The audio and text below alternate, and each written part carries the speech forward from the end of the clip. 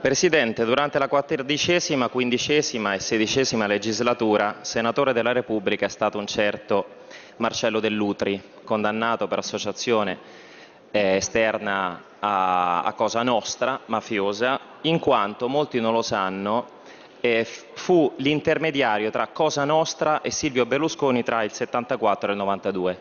Nello specifico presentò a Silvio Berlusconi in, alcuni, in, alcuni, uffici di Milano il boss mafioso Stefano Bontate, che venne arrestato due settimane dopo, autore della strage di Viale Lazio, il capo dei capi allora, prima che venne ucciso da Totorrin e dai Corleonesi, il quale garantì protezione alla famiglia Berlusconi in cambio di cospicue somme di denaro. Per quello inviarono Vittorio Mangano a Palazzo su a Milano per occuparsi, si dice, dei cavalli. Borsellino Dovrebbe diceva concludere. che quando si tratta di cavalli si tratta di droga.